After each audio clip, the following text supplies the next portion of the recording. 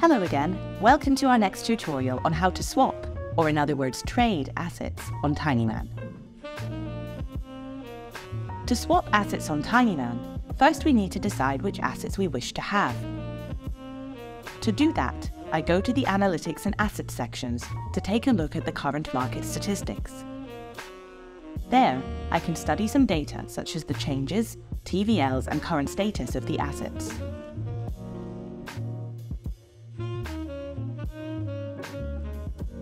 In light of this investigation, I decided which asset we'll trade today.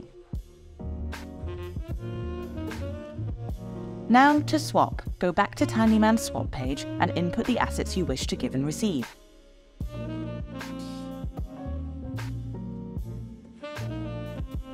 When you enter the amount you wish to give, Tinyman automatically calculates the amount to be received and shows it with additional swap information.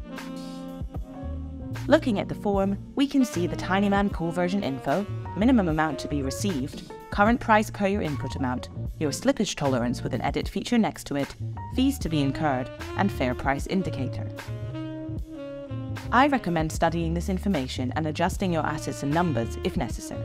To resume, click on the swap form and click on the confirm button if you're good to go. Remember, if you're swapping in a Tinyman V2 pool, you won't need to worry about your excess amounts anymore.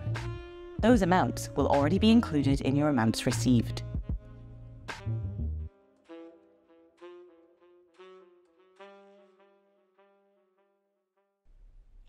We'll be glad to assist you if you have any more questions. Just step into our channels and we'll be there for you. See you next time!